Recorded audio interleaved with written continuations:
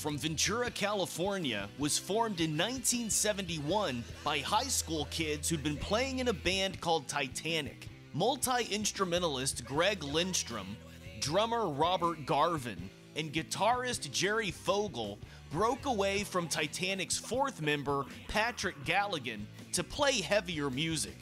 They'd take the name Cirith Ungol from Tolkien's Lord of the Rings, a mispronunciation of an elvish word which translates to spider's cleft or pass of the spider.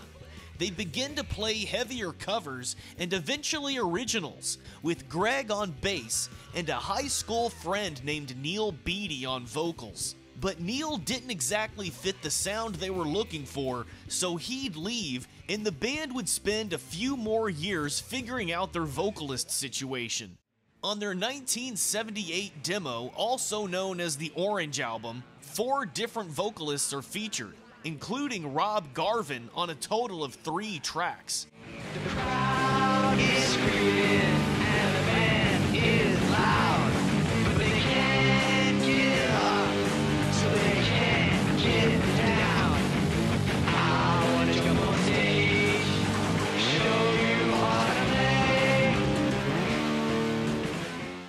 It's fairly different from the sound they'd be known for later, with more of a Stooges vibe here. Although the Cirith Ungol energy and aggression is there, along with Jerry Fogle's unique guitar tone.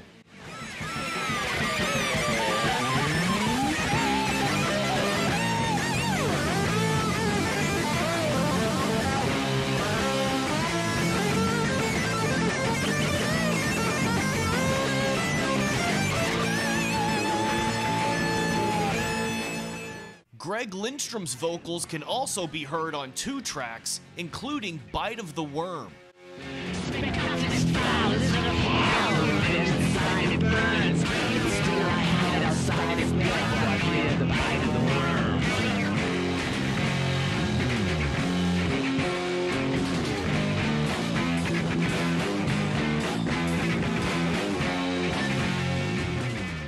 Along with handling bass, Greg would also switch off lead guitar duties with Jerry, leading to some awesome jammy sections between both guitarists, which are the real highlights of the demo to me.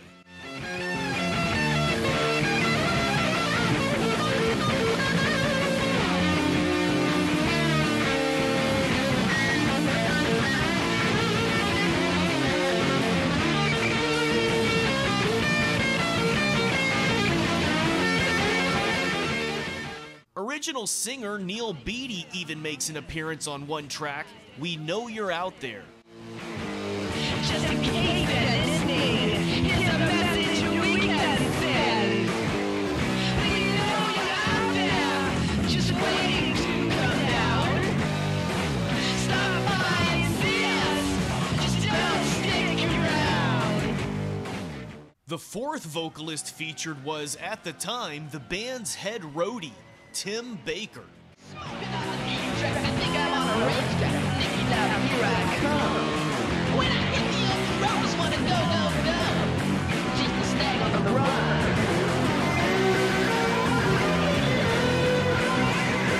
Racing, racing, it's a game we all play. If you can't take it, baby, do not enter wrong way. With the shoddy production, none of the vocalists really stand out all that much, but Tim still sounds relatively good here, although quite a bit different from how he'd sound on later albums. The overall songwriting is a bit underwhelming at this point, but there are several very cool jammy sections that are perhaps a result of their time spent playing without a singer.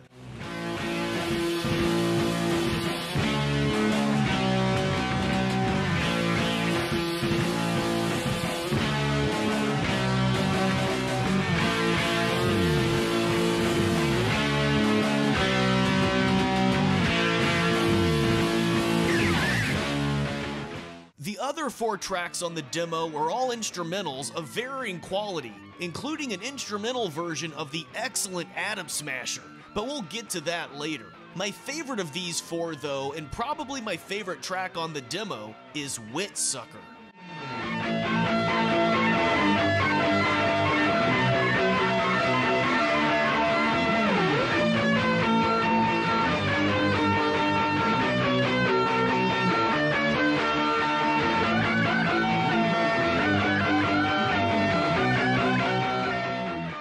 the following year, Tim would be the full time singer for Cirith Ungol, and they'd record a second demo with him as frontman. And it does show some improvement from the first, with some pretty cool stuff on it, like a badass synth version of frost and fire,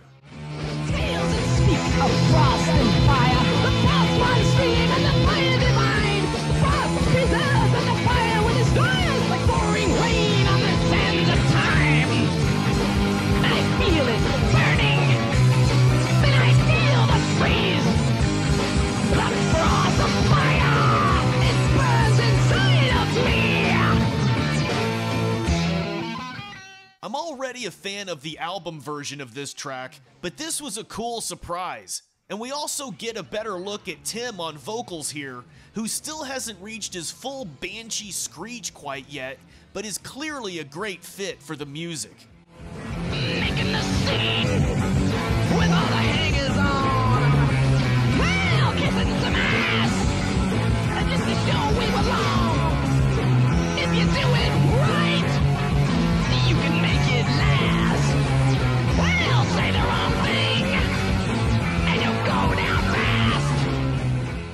He only appears on half of the demo, though, with five instrumentals taking up the other half. Of these, Darkness Weaves is the standout for me, with a cool guitar and synth combo.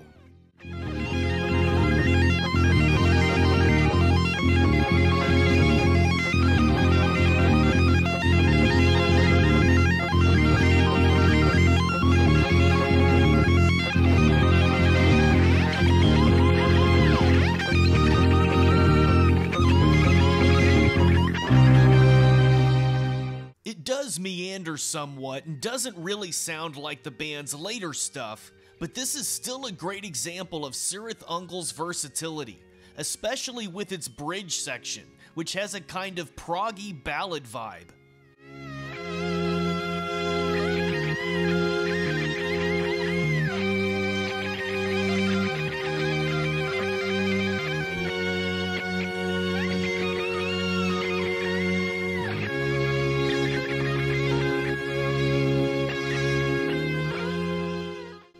This time, the band was joined by bassist Michael Flint Vujejia for live shows, so Greg and Jerry could play double lead guitars. Although Greg would remain on bass as Cirith Ungol began recording what was intended to be just another demo. However, they'd hear about a distribution company called Green World through future Metal Blade CEO Brian Slagel and decide to put the album out as a proper release. To do this, they created their own record label, Liquid Flames Records, which released Frost and Fire in 1981.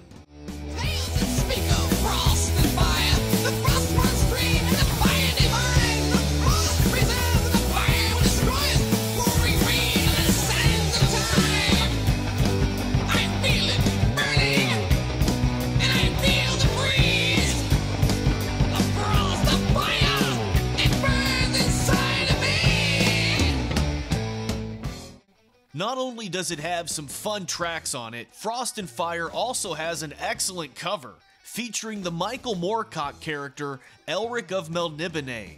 I was reading Stormbringer by Michael Moorcock at the time and was thinking, man, this is the ultimate cover art. I never thought we could use it, but I contacted the publisher who got me in touch with Michael Whelan, who is one of the few people in our entire music career who was honest, friendly, and kind. And we got to use it. I think we were the first album cover he had done at the time, and we really wanted to use his Elric series on all our covers, which we did. The songs included on Frost and Fire were mainly selected based on what the band thought would get radio airplay, so it is on the lighter side compared to later Cirith Ungol stuff. There's definitely a heaviness to this album, but much of it is still operating under more of a 70s approach.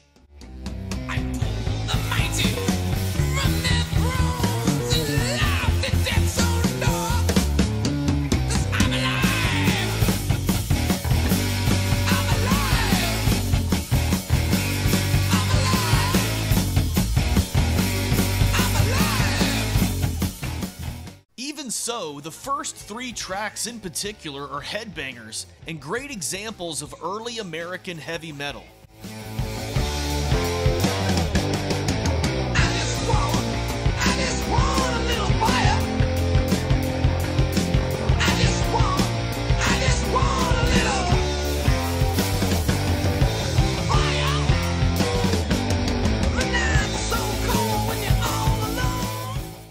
Little Fire is another personal favorite, even though it is on the slower side, but it's heavy as hell and the bass sounds great.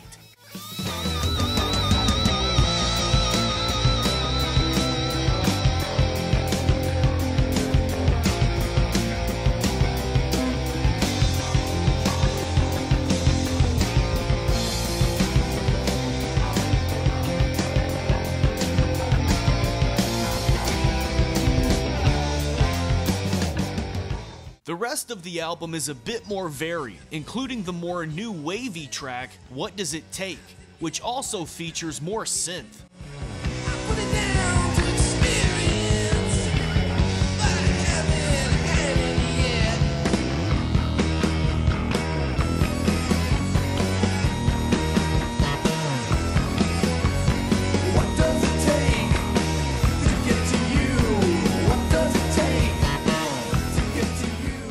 The punk adjacent Edge of a Knife.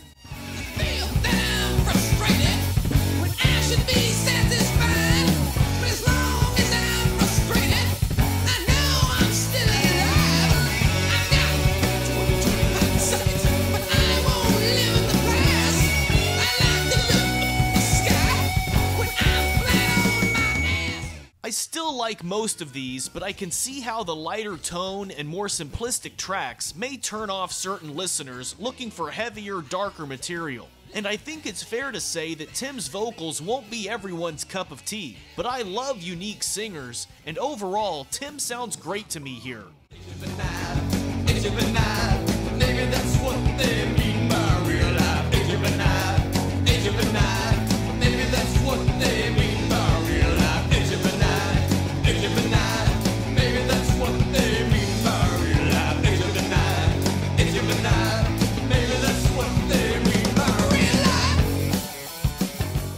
While Greg Lindstrom had written every song on Frost and Fire, he'd decide to leave once the album was recorded. Greg left to pursue an engineering career and is presently living in Los Angeles. It's not what we wanted, but it happened. When Greg left, we lost a lot. However, we've learned to work together more and not to rely too much on one person. Greg chose engineering, and we chose heavy metal. I felt I had reached a turning point in my life after graduating college and spending 10 years in the band. It was more than a year after Frost and Fire had been released, and sales were decent, but nothing was really happening for us, and I felt it was time to move on, which I did with much regret. In 1982, Brian Slagel would launch his label, Metal Blade Records, and include Cirith Ungol on his first release, a compilation of unsigned bands called Metal Massacre. Brian wanted Cirith Ungol to be on Metal Blade, but Green World Distribution had morphed into Enigma Records and gave them a deal for the second album. And since the commercial angle hadn't worked like they'd hoped, the band decided to go as heavy as possible for this one. Frost and Fire was our attempt to get a major record label and radio support. We had put our most accessible songs on that album, and when we received little recognition, we decided to pull out all the stops and create the heaviest album we could.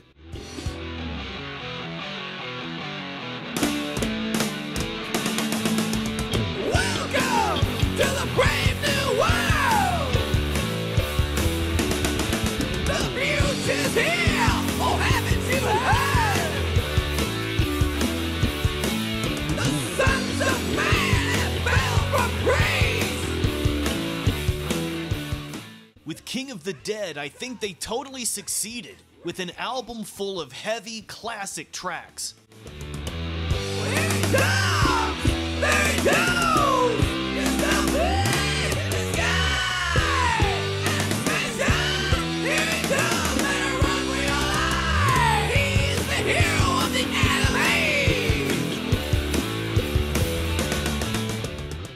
That said, I don't think Cirith Ungol is necessarily an easy band to just jump into, and it may require a couple listens to really appreciate. But with King of the Dead, they solidify their sound with a mixture of heavy, epic, and doomy riffs.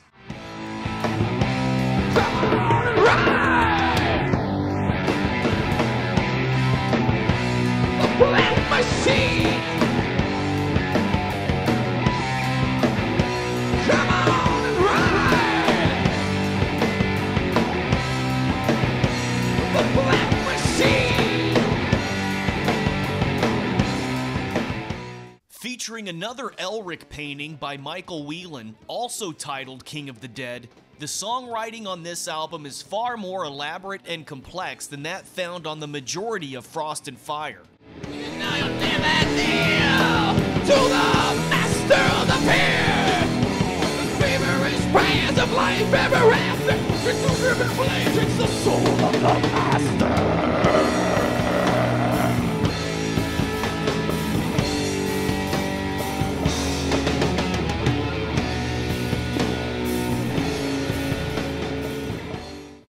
Get some amazing lengthy guitar solos from Jerry throughout the album.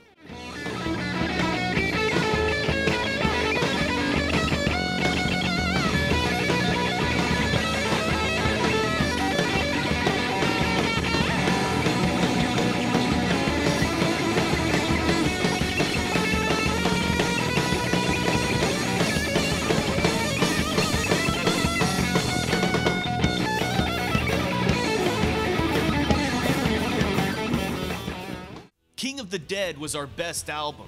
The reason was that we had total control over it. Every album could have been this good if we could have exercised complete control over its production and other things. This is the album which I feel is our best effort.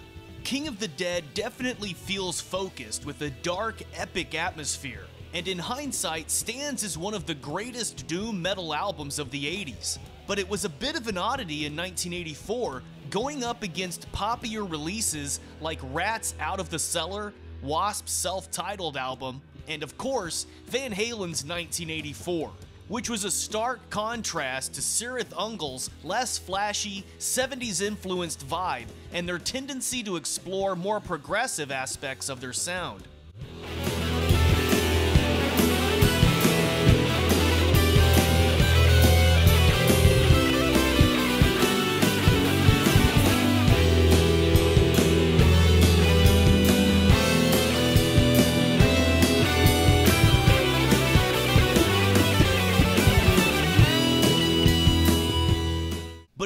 Still all built around an overall heaviness and dread filled aesthetic, showcasing slow, groovy riffs that are easy to just get lost in.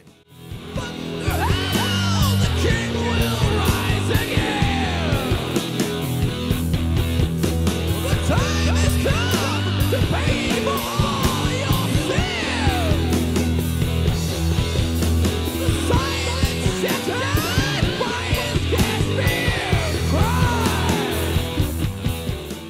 And for me, Tim's unusual vocal delivery adds another layer of powerful darkness, and has always sounded to me like some ghostly creature singing in a crypt or cemetery somewhere.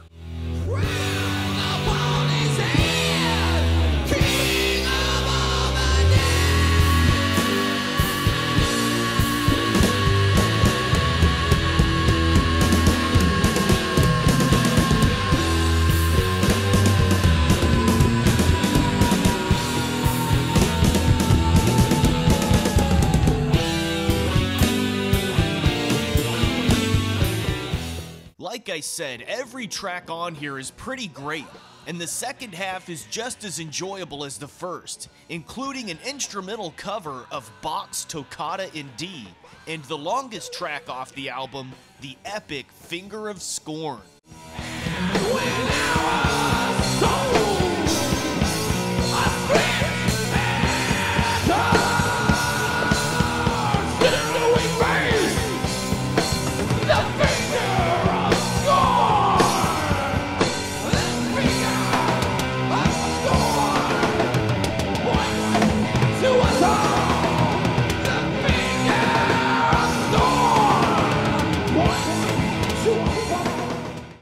Ungol would move over to Metal Blade for their third album, One Foot in Hell, released in 1986.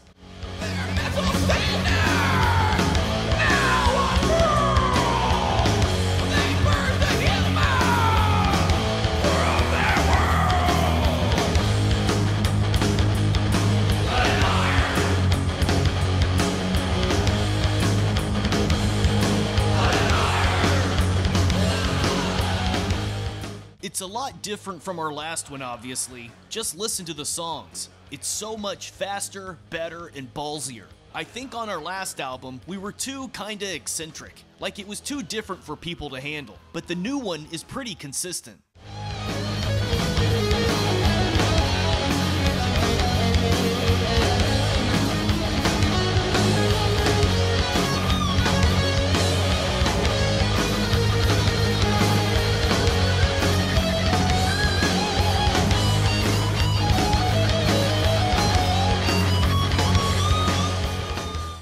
This is another overall great album, and it definitely embraces the 80s sound more than Cirith Ungol's previous releases, like in the opener, Blood and Iron. But the 70s influence isn't gone entirely, showing up in tracks like the Black Sabbathy Doomed Planet.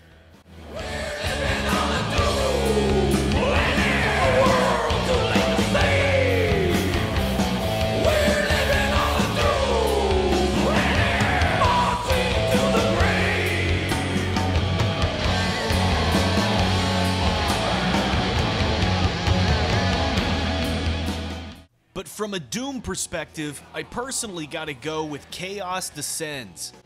It not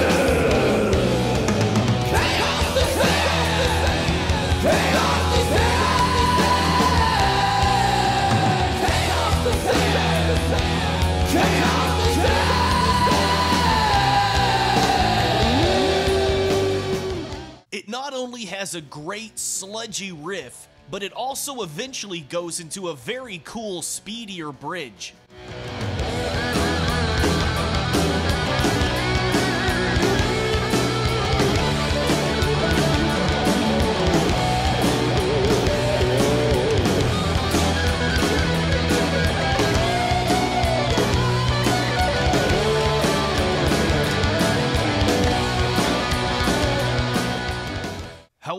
It seems like the band felt that the album could have been even better if the label hadn't been so involved in its production.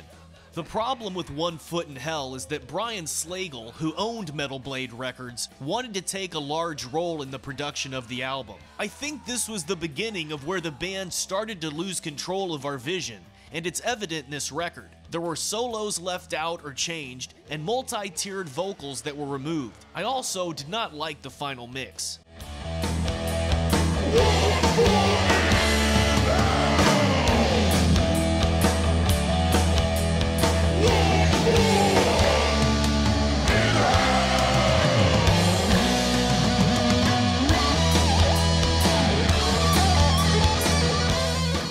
Even so, I like this album a lot overall, although I do agree that it doesn't quite reach the level of King of the Dead. But it has some standout tracks on it, as well as some of Jerry Fogle's best guitar work.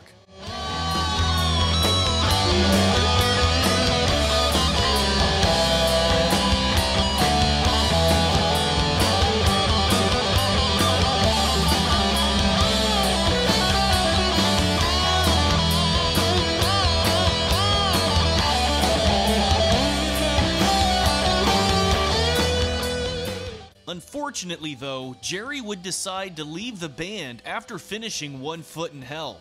We had found a really good guitarist named Jimmy Barraza, who we wanted to bring on board so that Jerry could concentrate on his leads and we could play all the double leads we were writing. Somehow, Jerry must have felt that we were trying to replace him, although nothing could have been further from the truth. Not long after being joined by Jim Barraza, Flint would decide to leave Cirith Ungol as well. I showed up at the band room one night and Flint's stuff was missing. He had decided to join a garage band thinking that our career was doomed. After six months, he returned only to leave again right as soon as the album was about to be recorded. At the last minute, Cirith Ungol would be joined by second guitarist Joe Malatesta and bassist Robert L. Warrenburg.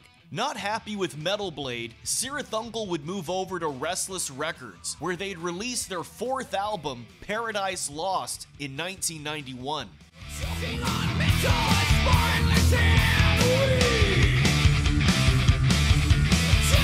While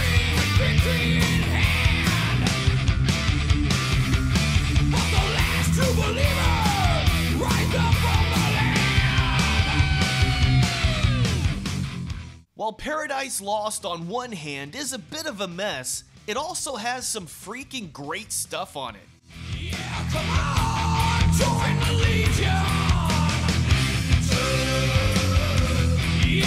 on,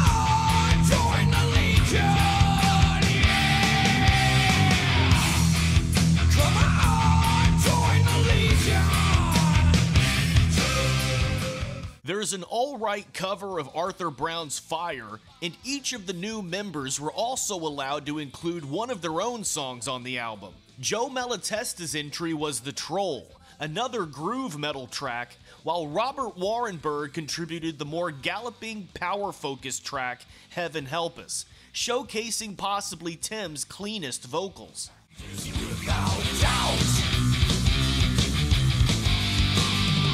Time is running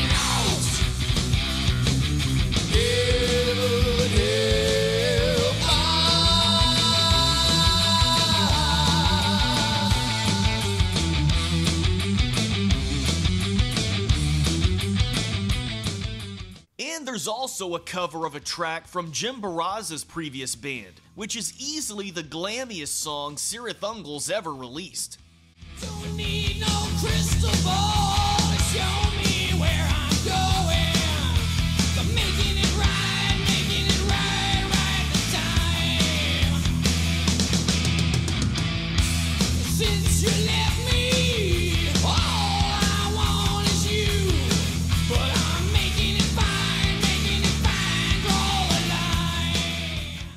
Is wildly different from the rest of the album, and I'd say anything else Cirith Ungol has done.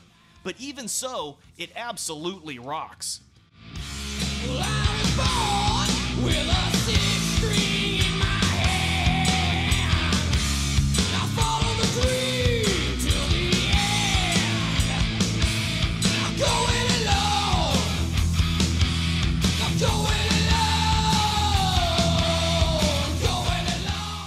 where this album really shines is in the last three tracks, which are all excellent.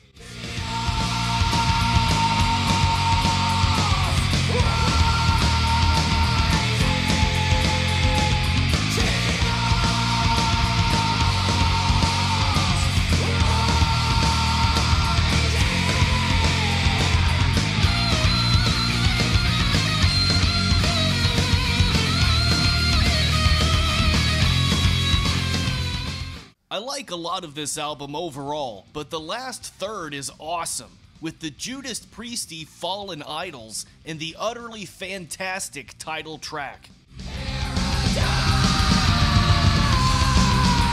With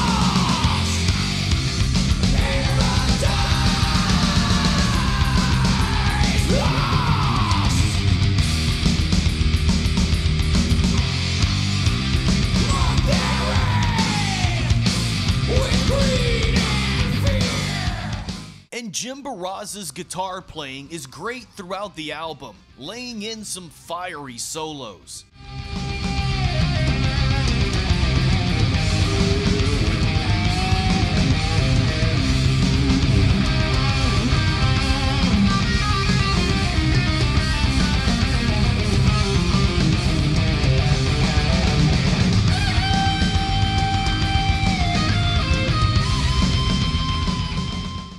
Can only speak on the remastered version of the album, which came out in 2016, somewhat ironically on Metal Blade Records, as the original 1991 release on Restless was a major disappointment to the band. Paradise Lost was like a nightmare I have never awakened from. We were totally screwed by the record company, and the producer took away all of the control.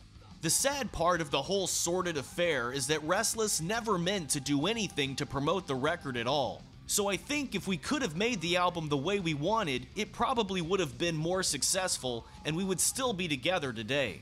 Joe Malatesta and Robert Warrenburg left before the album was even released, which led to a brief inclusion of Vernon Green on bass.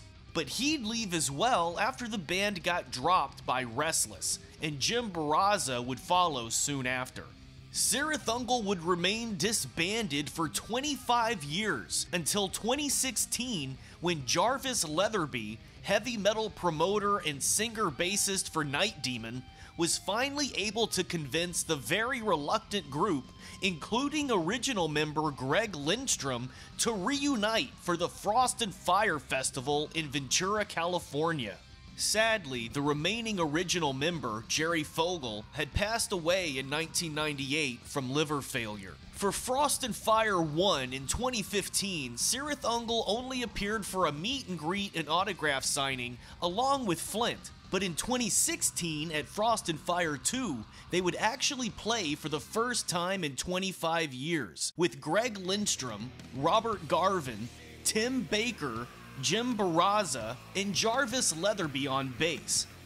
Then in 2018, this same lineup would release the single Witch's Game.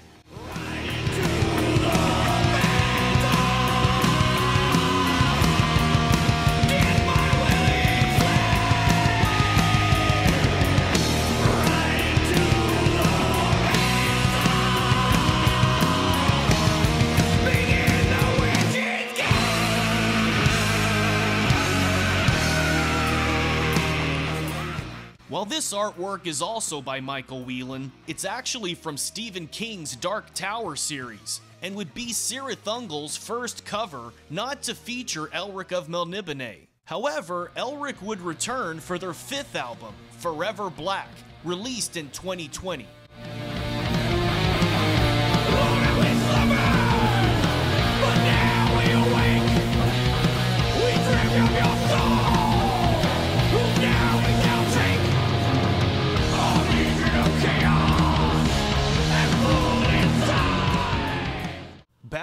Metal Blade Records, Forever Black overall is pretty good.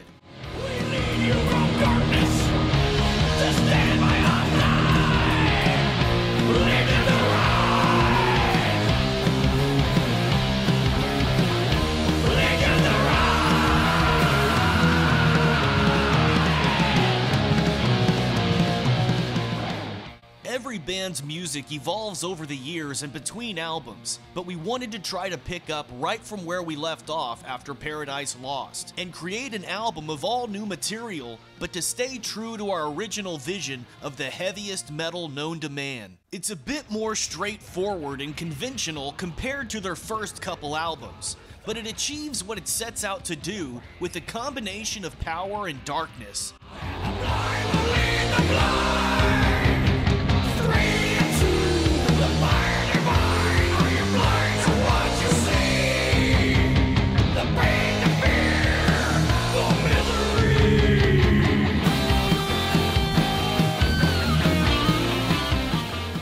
Much like their earlier albums, this one gets better the more I listen to it.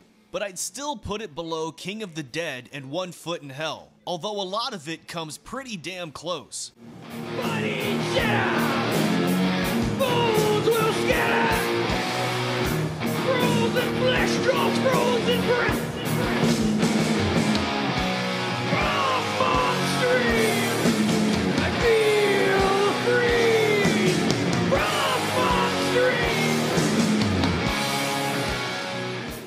However, the guitar playing from both Jim Barraza and Greg Lindstrom is always excellent and a highlight of pretty much every track.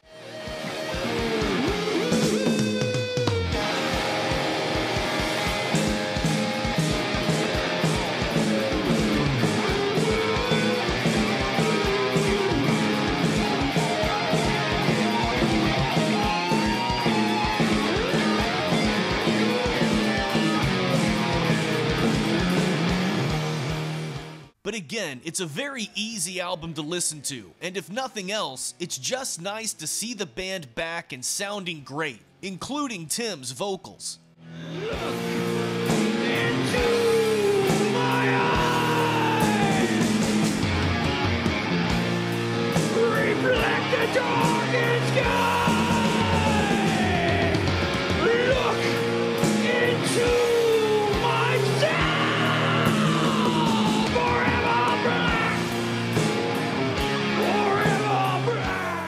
While Forever Black is Cirith Ungol's most recent album, they also released a great EP in 2021 titled Half Past Human.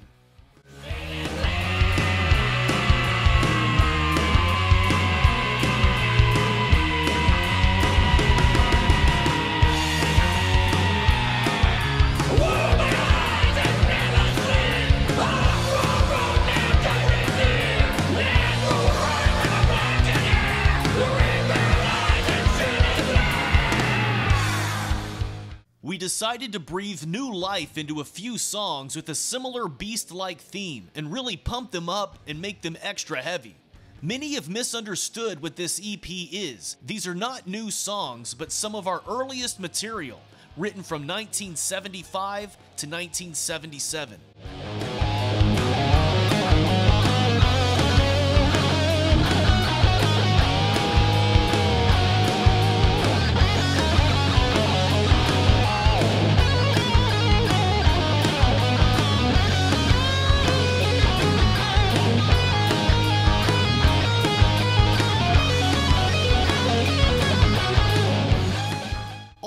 Tracks on here rock, and overall, there's more of an 80s feel than 70s. But regardless, it's distinctly Cirith Ungol, and it makes me super excited for whatever they do next. We are currently working on what will be our doom laden, ultra heavy sixth studio album to be released in 2023 on Metal Blade Records. The songs were written during the pandemic, and the cover will feature another masterpiece by Michael Whelan. Sounds awesome! Until then, here is your Cirith Ungol homework.